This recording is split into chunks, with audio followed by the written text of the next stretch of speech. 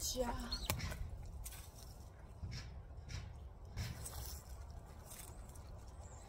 A jump up is when you exercise your hawk by having them fly straight up to your glove.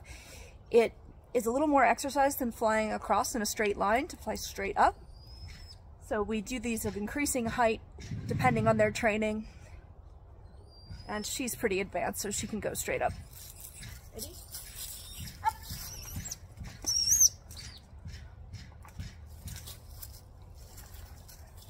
The word is still up to do the jump up. It's just we position ourselves differently to try to encourage them to go straight up.